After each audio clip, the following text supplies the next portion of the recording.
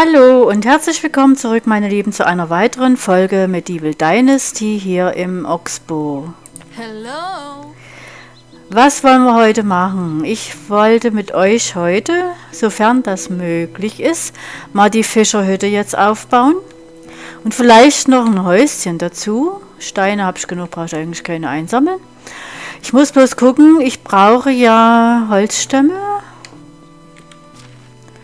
Und ich glaube, Stroh bräuchte ich auch noch. Hier haben wir noch drei Äxte, die gebe ich mal rein, damit die was machen können hier, ne? So, ich brauche... Haben wir Bretter? Ja, Bretter haben wir. Dann nehme ich mir mal was raus hier. So viel müssen es nicht sein. Und äh, Holzstämme wäre ganz schön. Ich hoffe, dass wir die haben. Also würde ich heute mit euch erstmal die Fischerhütte bauen. Und ein Häusel dazu. So, da ich die Fischerhütte dort irgendwie nicht hinkriege, habe ich mir jetzt gedacht, ich baue die an einen anderen Platz. Und zwar weiß ich ja, dass das hier hinten irgendwie auch noch geht, weil ich das in meinem Spielstand, meinen privaten Spielstand auch hier hinten mal hingebaut habe, ginge das, glaube ich, hier. Das zieht natürlich das Dorf dann ein bisschen weiter auseinander, aber das ist jetzt nicht das Thema, denke ich mal. Das müsste gehen. Wir probieren das mal hier an dieser Stelle. Ich glaube, an dieser breiteren Stelle müsste das funktionieren. Wartet mal. Ich weiß, dass ich das hier, hier geht's, genau, hier geht's hin. Dann bauen wir die jetzt hierher. So. Es muss ja nicht zwangsläufig alles bei uns im Dorf stehen. Das kann ja auch mal ein bisschen außerhalb sein. Ne? So, die Flechtwand noch, die Flechtwand noch, das, das, das, das Dach. So, und da haben wir die Fischerhütte. Okay. Ja, da sind wir natürlich hier ziemlich nah an diesem Lost Place oder wie sich das immer auch nennen mag. Ich baue jetzt hier einen Weg. Und ja, die Frage ist nun,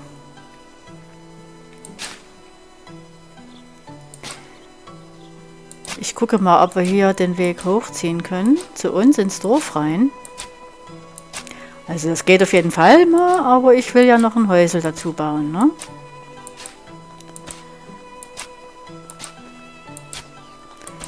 So. Da können wir nämlich auch das Dorf nach hier hinten noch ein bisschen ausdehnen. So, müssen ja an die komplett Kerzen gerade gehen. Wir können noch mal ein bisschen krumm und schief bauen hier. ne? Schief ist Englisch. und Englisch ist modern. Haben wir immer gesagt. So. Hier lang, da lang, da lang, hier rum. Und hier dran. Genau, so machen wir das. Und jetzt will ich natürlich noch für die Fischersleute, die da mal arbeiten sollen, ein Häuschen noch aufbauen. Ne? Ja, jetzt sammle ich schon wieder Steine, ich weiß. Aber das sage ich ja jede Folge. Ich sammle und sammle und sammle.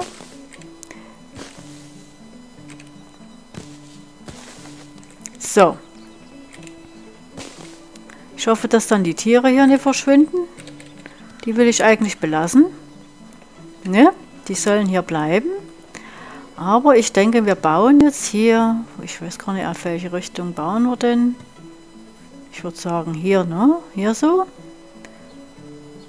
Ich könnte ja erstmal ein Feld ziehen, so wie ich das jetzt immer mache, dass ich das Haus an einem Feld ausrichte.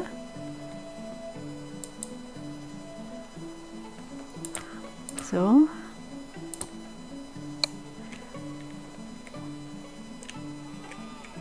Und wenn wir dann noch Zeit haben, wenn wir das geschafft haben, können wir ja mal nach Ostoja laufen. Mal gucken hier. Nee, das ist so. Okay, machen wir das so.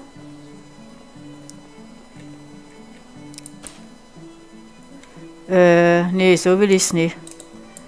Nee, so will ich das nie haben. Das, äh, das entspricht nicht meinen Vorstellungen. Ach nee, Mann. Ich will das Haus. Na dann, dann machen wir es ausnahmsweise mal so, wie ich es sonst auch gemacht habe früher. Ne? Dass ich es am Weg ausgerichtet habe. So. Genau, dann machen wir das jetzt hier hin. So, das Häuschen hin. Nein, falsche Taste. So.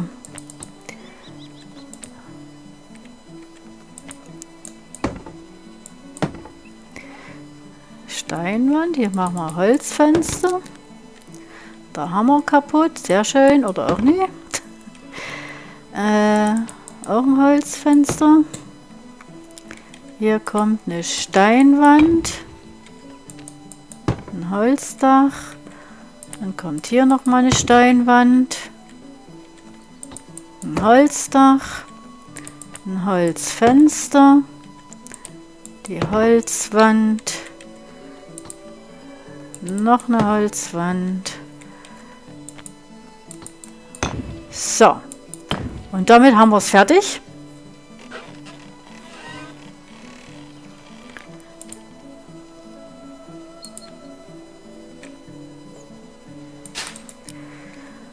Ja, da sind wir ja schnell fertig geworden damit, ne? Da würde ich jetzt sagen, machen wir hier Fischer. Gut. Naja, dann hätten wir ja doch Zeit, noch nach Ostoja zu laufen. Ich denke, das machen wir. Soweit ist das ja nicht bis dahin. Da fangen wir damit jetzt mal an und dann gucken wir vielleicht gleich noch, ob wir jemanden bekommen für die Fischerhütte, ne? Zur Not hätten wir dann ja noch äh, in Skauki jemanden sitzen gehabt. Hatten wir ja in der letzten Folge, glaube ich, gesehen. Ne? Da war der ja dabei, wo ich geguckt habe. Ich glaube, da hatten wir jemanden gefunden, der geeignet wäre dafür. Aber wir gucken jetzt hier. Wir gucken jetzt hier.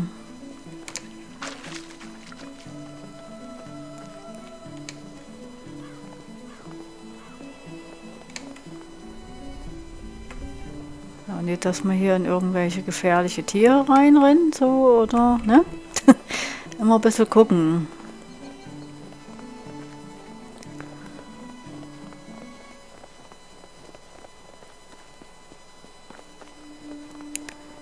So.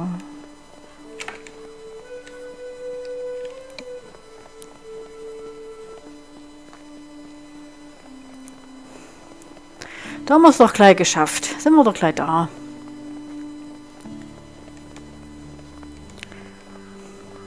So, wir sollen den Müll am See untersuchen. Dann machen wir das. Und ich komme, wir hier den Korb.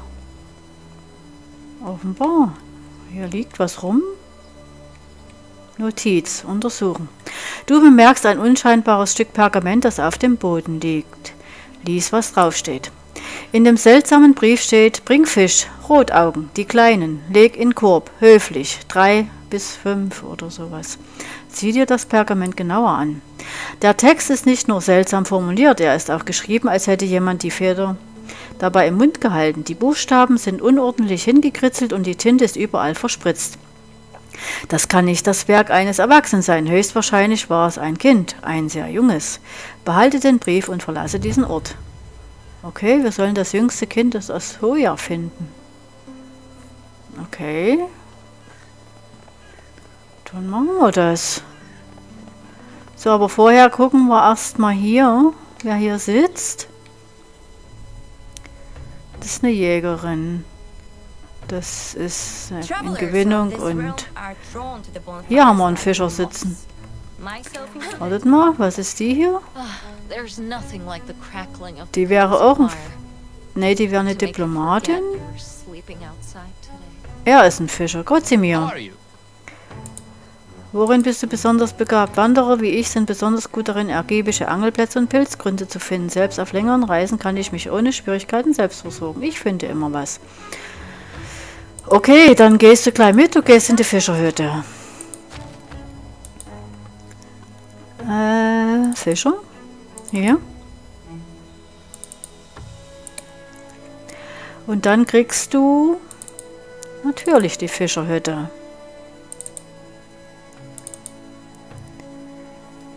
So. Natürlich musst du mir jetzt hier Rotaugen besorgen. Barsche. Und natürlich auch Hecht. Und dann kannst du mir auch noch Fischfilet irgendwie machen, ne? So. Okay, da halten wir's.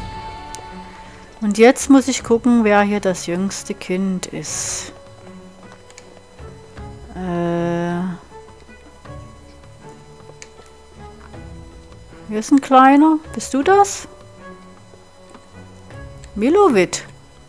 Hallo. Hallo Kleiner, wie war dein Tag bisher? Mein Tag? Er ist in Ordnung. Ich wollte im See planschen, aber ich konnte mein Handtuch nicht finden. Oh, das ist aber nicht gut. Man sollte immer wissen, wo man sein Handtuch hat. Warum? So überlebt man. Oh nein, das wusste ich nicht. Ich muss es finden. Das solltest du, aber eigentlich wollte ich dich nach diesem Brief fragen. Hast du ihn geschrieben? Ah, vielen Dank, liebe Frau. Wofür? Dafür, dass du gedacht hast, dass ich lesen könnte. Die Leute sagen immer, ich kann nicht mal normal arbeiten gehen. Also ist es schön. Hm, dann habe ich mich wohl geirrt. Keine Sorge, ich möchte lieber glücklich sein, als immer recht haben. Das ist sogar eine ziemlich weise Aussage. Bevor du weiter nach deinem Brieffreund suchst, könntest du mir bei etwas helfen? Sicher, was brauchst du? Ich will lernen, wie man fliegt. Das ist unmöglich.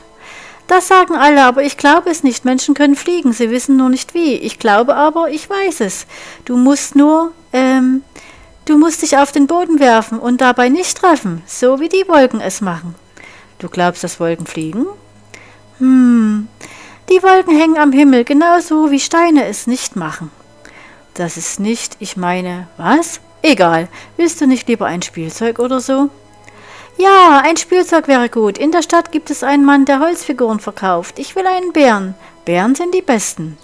Gut, ich besorge dir einen Bären. So, und da ich den schon einstecken habe, kriegt er den gleich, ne? Hast du ihn? Ein Holzbär für einen kleinen, klugen Jungen. Juhu, diese Spielzeuge sind die besten. Sie müssen von jemandem gemacht werden, der Kinder liebt. Der Bär ist das, der Beste vom Besten. Vielen Dank. Keine Ursache, Kleiner, es war mir ein Vergnügen. Oh, wegen dem Brief. Was machst du damit jetzt? Ich habe keine anderen Anhaltspunkte, also werde ich wohl einfach tun, was da steht und schauen, was passiert. Das ist aufregend. Ich gehe jetzt mit meinem Bären spielen, aber erst muss ich Mamas Saft austrinken. Hm, der ist der Schlimmste. Wieso das? Er schmeckt nicht nach richtigem Saft. Eigentlich schmeckt er fast, aber nicht ganz. Gar nicht wie Saft. Tu, was deine Mutter dir sagt. Ich bin sicher, er ist harmlos. Also, hauptsächlich harmlos. Trink aus, die Welt. Okay. So, Rotaugen haben wir keine. Äh, wer ist denn hier der Fischhändler? Ich müsste mal gucken. Ist der vielleicht zufällig hier hinten?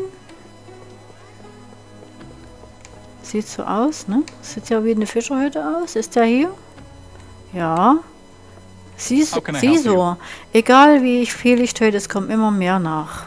Zeig mir deine Waren. Rotaugen wollten die jetzt haben, ne?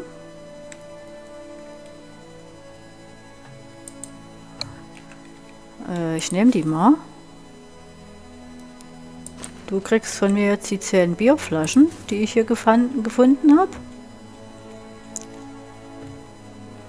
Dann kannst du von mir die alte Armbrust kriegen. Die fünf Holzsperre brauche ich nicht.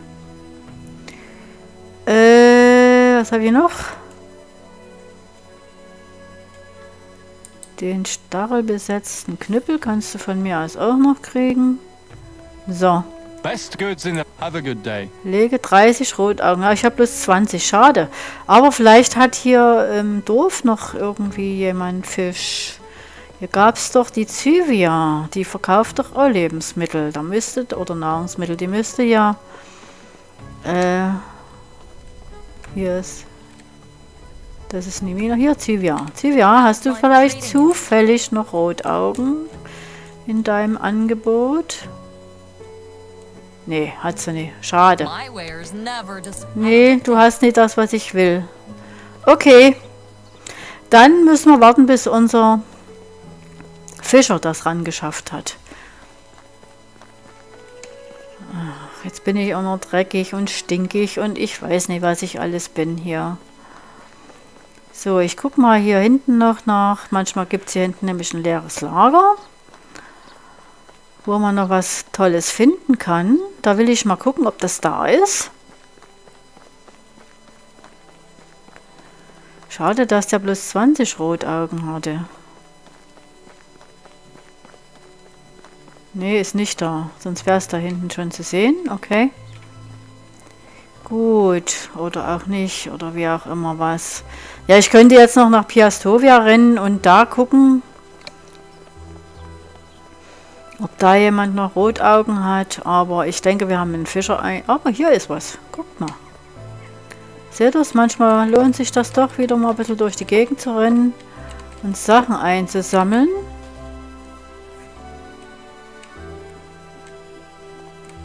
Ein aller Knüppel. Eine Holzschaufel, was ist in dem Sack? Saatgut, das äh, ist auch nicht schlecht, kann man alles immer brauchen, ne? Ja, naja. Gut, ihr Lieben, dann gehen wir nach Hause.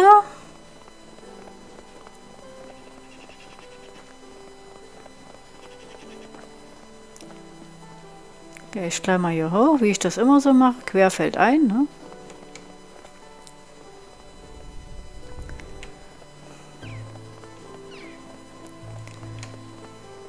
Da unten ist ein Lager. Ist das besetzt?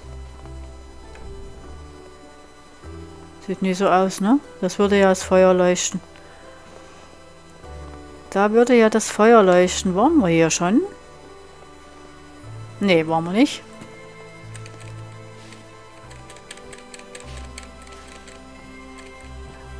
Waren wir definitiv nicht.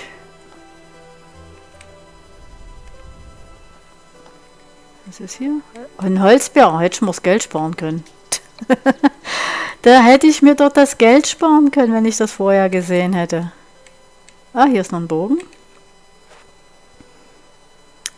Gibt es auch die Pfeile dazu?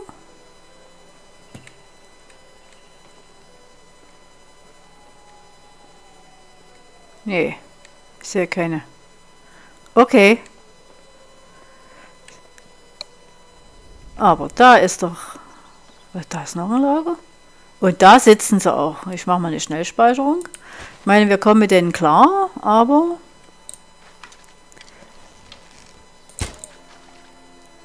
Okay, oder auch nicht.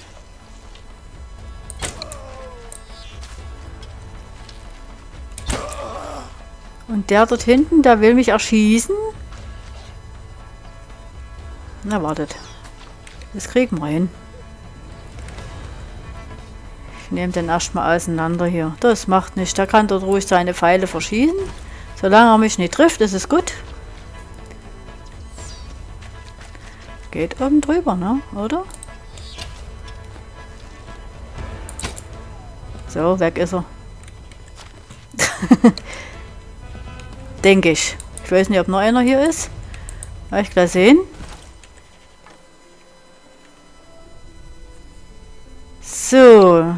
Zwei Lager aufeinander, eins besetzt, eins nicht. Aber guckt mal, wir finden hier schon wieder ganz nette Dinge, ne? Gibt es hier jetzt vielleicht zufällig auch noch Wölfe, ja?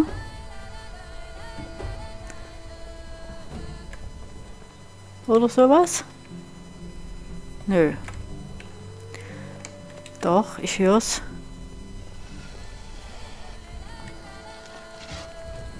Ha? Hallo, Wolf, wo steckst du? Ach Gott, ich bin aber auch blind wie ein Maulwurf. Mann, ich habe doch diese Pferdenleser-Fähigkeit. Da müsste ich es doch sehen. So, hier hatten wir jetzt reingeguckt, ne? Ja. So. Ähm... Was willst denn du von mir? Klappe.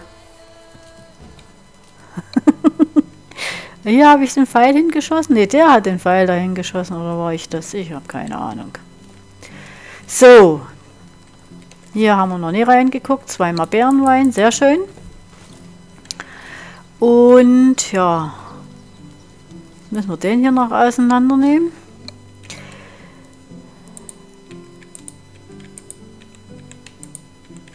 So. Naja. Hier liegt noch eine Steinachs. So kann man nehmen. Ja. Passt schon. Okay. So, und jetzt will ich... Nee, ich will hier hin. Ja, ich laufe schon richtig. Ist okay. Ist okay.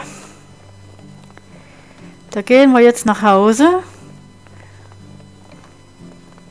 Machen uns ein bisschen frisch. Weil wir sind ja schon wieder stinkig hier.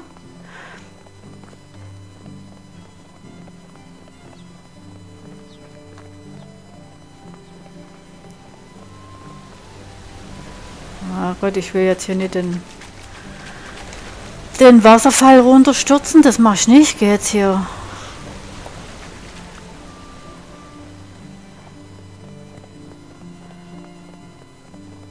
unseren üblichen Weg, ne?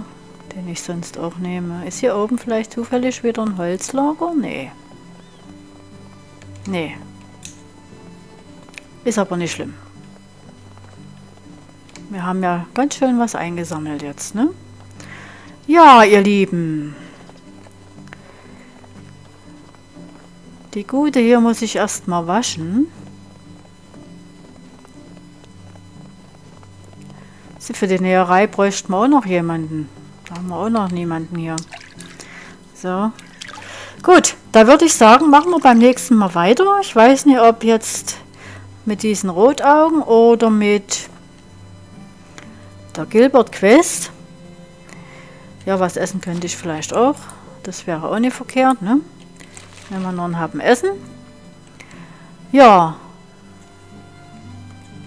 Da würde ich sagen, meine Lieben, soll es das erstmal an dieser Stelle wieder gewesen sein. Ich danke euch ganz herzlich fürs Zuschauen und für euer Interesse und ich würde mich freuen, wenn ihr beim nächsten Mal wieder mit dabei seid. Lasst euch alle gut gehen, habt einen schönen Tag, einen schönen Abend oder ein schönes Wochenende und dann sehen wir uns beim nächsten Mal wieder. Bis dahin. Tschüss. Goodbye.